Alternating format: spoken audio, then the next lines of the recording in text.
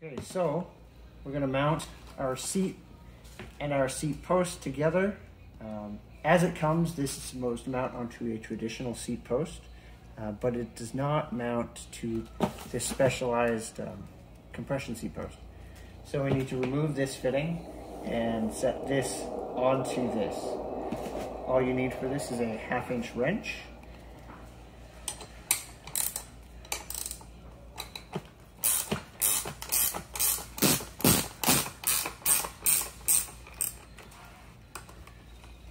Take the nuts off the bottom.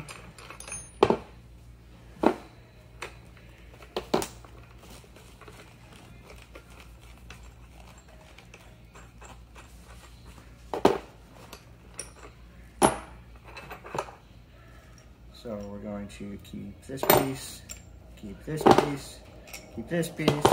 We don't need this one. That one we can set aside. Uh, everything else, we need this to go underneath that back piece. It's gonna sit right about there. We wanna put on this larger bit, one on each side.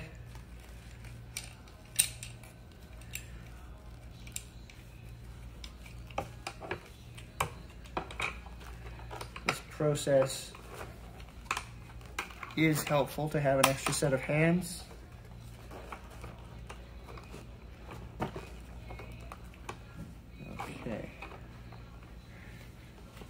Put this post through the middle. There we go, that holds everything in place. Now we need these ones. It's gonna hook on to there. And then one on the opposite side. And we can thread those nuts back on.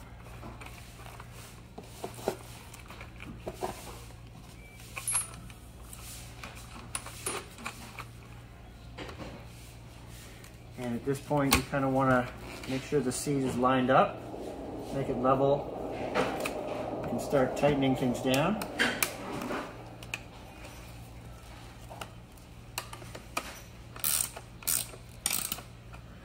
Do a little bit more because we can still move it. Not set in place yet.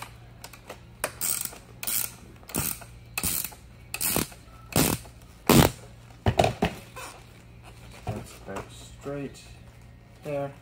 And I'm gonna go ahead and just tighten that all the way up.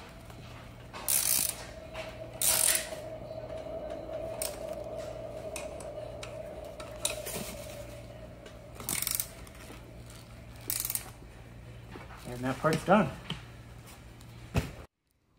Okay, so after we've got our suspension seat post mounted to the seat, we are going to attach the lower half to the base plate. Typically this would be done once the base plate has already been installed on the vehicle, but we're just gonna do it now to show you how everything goes together. So you need to remove this front connecting post. That goes in there. So we're going to hook that on there. Line things up. Flip it to make it easier to work on. This post we removed earlier slides through there. And we attach the screw in the other end. And it's just two five millimeter Allen Allen keys. There we go.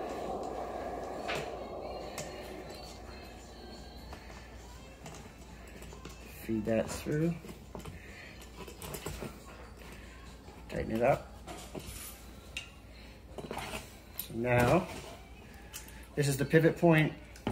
This unlocks and you can pinch this and it will pivot there. Pinch and it locks into place. This goes up to lock everything firmly down there.